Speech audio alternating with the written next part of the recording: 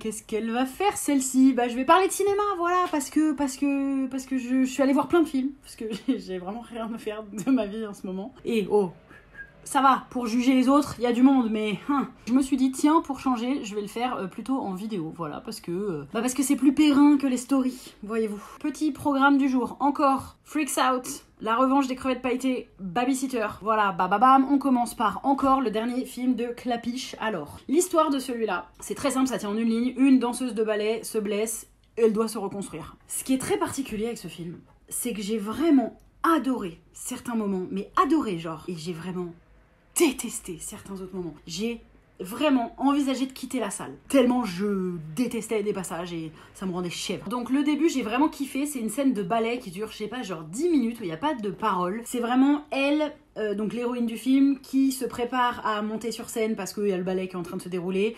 euh, avec des scènes vraiment de danse trop bien fait, c'est grave bien filmé, c'est grave beau, on la voit euh, parcourir un peu les loges de l'opéra, aller fumer une clope sur le toit et tout, enfin c'est vraiment très stylé. Il y a un générique ensuite archi. C'est assez rare, mais il est vraiment ultra taffé. Là, j'étais là, ouh, ouh, je vais me régaler. Et puis elle se blesse. Et puis là, il y a une scène où elle rencontre François Civil, qui joue un kiné. Moi, j'adore François Civil. Je trouve que c'est un des meilleurs acteurs du moment. Mais dans ce film.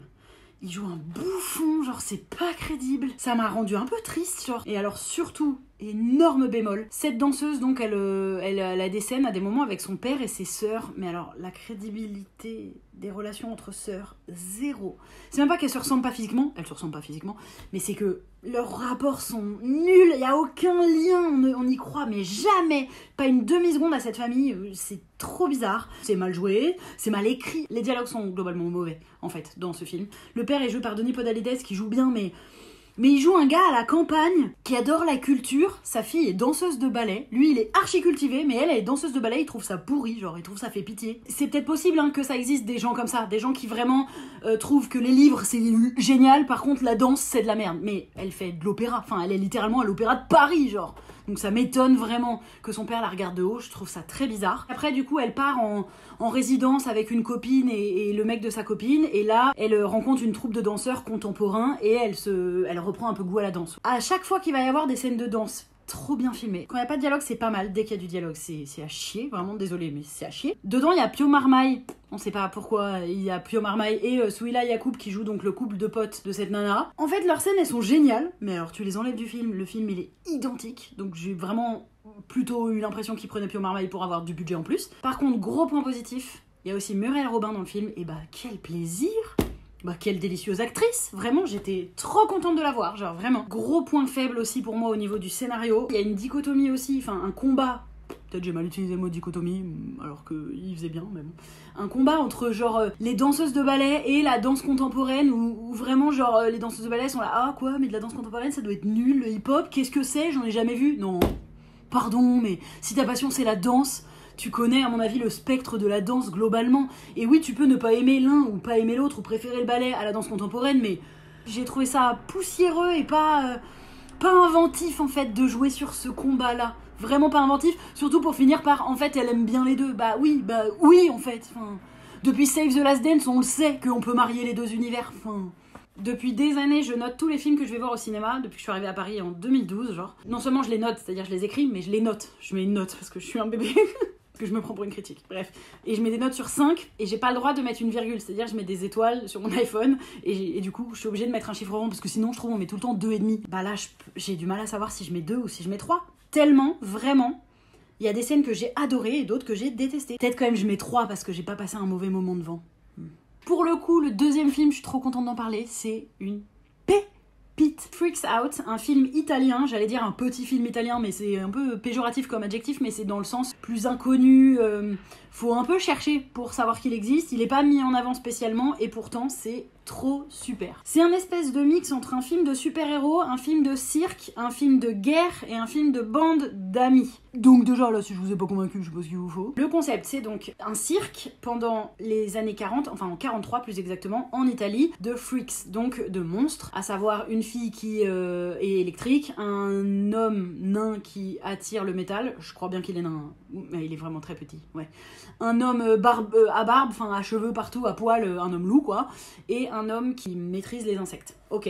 Ceux-là, ils ont donc un spectacle avec un monsieur loyal euh, dans, leur euh, bande qui s'appelle Israël. Et je vous rappelle qu'on est dans les années 43.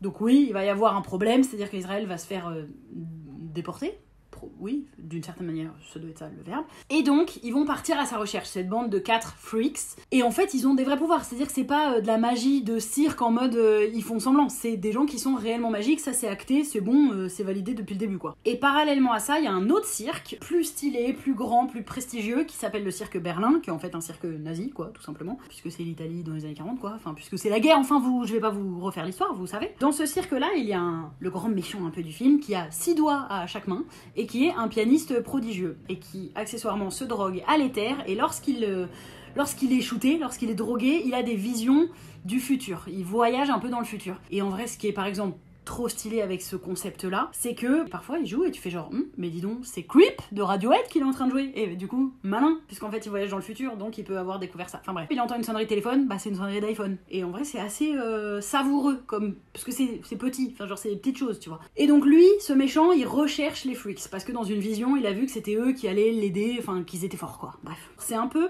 un espèce de X-Men euh, dark euh, avec de la, rencontre entre des gens qui ont des pouvoirs et qui essayent de vivre et qui essayent d'adopter, de, de comprendre un peu leurs pouvoirs et en même temps dans un monde où valait mieux pas être différent en fait, ce qui est trop bien dans ce film, c'est qu'il y a et des scènes grave poétiques, il y a des scènes très marrantes, il y a des scènes euh, vraiment d'amitié, de camaraderie, il y a des scènes qui font un peu peur, enfin qui sont plus glauques, et il y a une énorme scène de guerre à la fin du film. C'est extrêmement divertissant, ça change un peu de ce qu'on voit euh, d'habitude, et surtout, on s'attendrait à ce que ce soit genre un peu une grosse production hollywoodienne, tu vois, alors que non, c'est vraiment un film à petit budget italien. Petit bémol, ça c'est un truc carrément je peux plus blairer ça dans les films. Je comprends pas comment on peut encore faire ça, mais moi je peux plus blairer. C'est quand le grand méchant, il subit des tonnes d'accidents et à chaque fois il se relève, il est là, bali, balou. Vraiment là, le méchant, typiquement, à un moment, il, il est amputé littéralement de morceaux de lui. Il reçoit une espèce de bombe nucléaire, vraiment, enfin plus euh, une deux fois une bombe en fait quasiment je, pour pas vous spoiler mais on s'en fout et après il est encore là euh, alors tous les autres ils sont crevés à côté de lui enfin son super pouvoir c'est pas d'être immortel hein. Euh, il me semble. Hein. Ça, vraiment, je peux plus le Le grand méchant qui se relève tout le temps. En fait, vous savez quoi, les scénaristes, soyez plus malins. Je comprends que vous ayez besoin que votre méchant il reste jusqu'au bout du film, parce que c'est ça le principe. Mais dans ce cas, soyez habile et ne lui faites pas recevoir des bombes dans la tête. Enfin, je veux dire, trouver un moyen pour qu'il y ait échappé d'une autre manière. Mais c'est quoi ça? Ils sont tout le temps immortels. Enfin, non, c'est la barbe. Ce bémol mis à part, excellent. Je vous conseille vraiment de le voir. J'aimerais qu'il y ait plus de films comme ça dans notre paysage cinématographique. Parce qu'il y a quand même pas mal de bouse. Donc ça fait du bien quand il y a un film quand même pas mal. Freaks Out, je mets 4, c'est sûr. Je mets 4 sur 5. En troisième, je suis allée voir euh, La Revanche des crevettes pailletées. Un jour, j'avais vraiment besoin d'un petit bon bec au cinéma. Il y a des fois où t'as juste besoin de t'asseoir dans un siège et de sourire. Et comme le premier, Les crevettes pailletées, ça me fait cet effet. Je trouve ça euh, hyper mignon, un petit bonbon, un peu joyeux, petit sourire aux lèvres. Je me suis dit, hmm, je vais aller voir ça, ça va être parfait. Ça a répondu à mes attentes. C'est-à-dire que j'ai passé un bon moment, détente, je suis sortie, j'avais un peu plus la pêche. Maintenant, en termes cinématographiques purs, bah, c'est quand même pas une folie. C'est un peu écrit avec le cul, il y a des facilités de scénario. Le principe, c'est donc une équipe de waterpolo gay qui va au JO gay de Tokyo et en chemin, ils ratent une correspondance. Donc, ils doivent prendre le vol d'après qui est 24 heures après. Et donc, ils se disent tiens, si on sortait de l'aéroport, ce que personne ne fait en vérité, si on sortait de l'aéroport et qu'on allait genre loin de l'aéroport pour 24 heures alors qu'on est au fin fond de la Russie, le pays le plus homophobe euh, de la Terre. Enfin, non, il y en a plein des pays homophobes. C'est vraiment pas ça qui manque. Mais globalement, la Russie, tu sais, c'est pas connu pour être Yeah, on adore les gays et globalement les minorités. Donc euh, voilà, déjà ça. Je t'avoue que quand ils sortent de l'aéroport, ils prennent un vrai bus et ils vont grave loin. Je me dis, hmm, peut-être que non. Passer cette première euh, facilité scénaristique qui te permet juste de créer un espèce de choc culturel, ils sont dans un hôtel, ils se disent ouh ça va être dangereux pour nous dehors, évitons de sortir. Ben, vlati pas, ni une ni deux, qu'ils se mettent tous à sortir, et donc il y a évidemment des problèmes, et qu'ils se font carrément, attention, hein, parce que c'est grave mesuré et subtil, ils sont du coup envoyés dans un espèce de goulag, euh, enfin thérapie de conversion euh, anti-gay euh, au fin fond de, de la Russie. En vrai, c'est quand même que des trucs, tu fais un peu genre, non, vous plaisantez. Mais malgré ça, Je veux dire, si tu n'es pas. Est-ce que, est que filmiquement parlant, est-ce qu'il y a des beaux plans spécialement, des beaux cadres et tout Je saurais même pas dire. C'est pas ça qui est intéressant.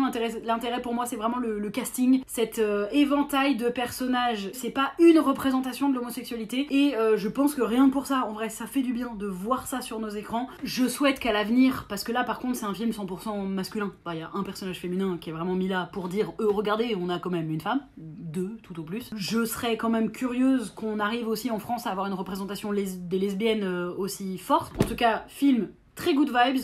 Pour passer un bête de moment, faut pas aller analyser le scénario quoi. Et c'est un peu engagé, même si ça reste engagé euh, grand public. C'est engagé mainstream, quoi. C'est engagé, euh, personne peut se dire, waouh, là ils vont trop loin. C'est engagé où tu dis, oui, bah, c'est le minimum. Mais c'est déjà pas mal. En vrai, je mets 3 sur 5 parce que je passe un très bon moment, mais c'est vraiment un peu pauvre quand même. Et enfin, dernier film que j'ai vu, Babysitter, le le deuxième film de Monia Chokri, qui est une actrice qu'on a pu voir chez Xavier Dolan, Dolan.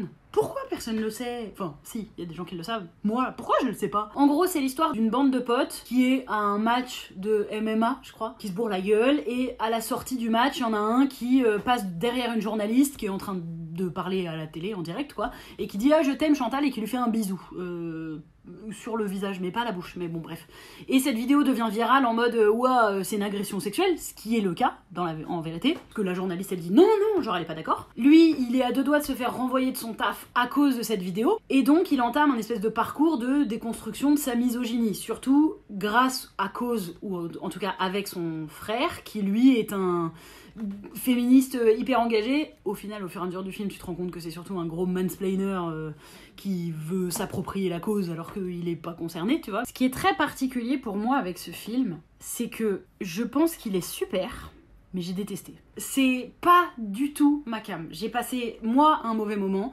C'est des choses que je n'aime pas voir au cinéma, c'est-à-dire des plans ultra travaillés, musique, cadrage, des personnages très marqués, un jeu un peu grotesque à la Almodovar. Il y a un petit côté Almodovar, mais je pense que c'est pas du tout que ça les refs pense qu'il y a vraiment d'autres rêves que j'ai pas chopé parce qu'encore une fois, c'est le genre de cinéma que j'aime pas. Mais pourquoi je dis que je suis déjà c'est un bon film parce que je pense qu'il est bien joué et justement très bien réalisé, il y a beaucoup de taf. Je suis hyper contente quand c'est une femme à la réalisation, et c'est là où je retombe quand même dans, mes idées et mes valeurs, une femme qui réalise un film aussi marqué. Ça me fait grave plaisir. Parce que vraiment, c'est très tranché, c'est très franc, et c'est un style de réalisation qui s'excuse pas de faire ce qu'il a envie de faire. C'est vraiment que c'est pas ma sensibilité du tout, c'est pas ce que j'aime voir au cinéma, mais je suis tellement contente que ça a été fait. Moi, je vais mettre genre une note parce que n'oublions pas, je vais mettre genre 2 parce que c'était pas du tout ma cam, et en même temps, si je devais le noter euh, en tant qu'œuvre, je mettrais 4 sur 5. Dites-moi ce que vous avez pensé, vous, des films en commentaire si vous les avez vus. Bah, si vous les avez pas vus, j'ai pas besoin de savoir, puisque vous avez rien à dire, puisque vous l'avez pas vu, donc voilà. Allez, bisous